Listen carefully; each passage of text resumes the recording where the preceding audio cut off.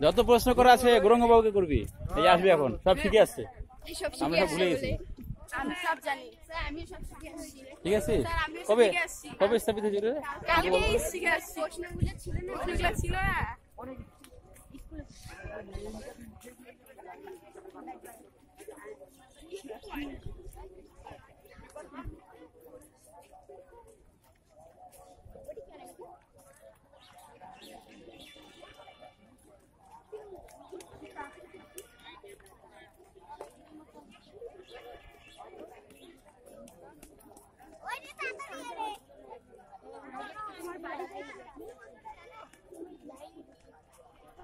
না এই গৌরঙ্গ হারলো নাকি?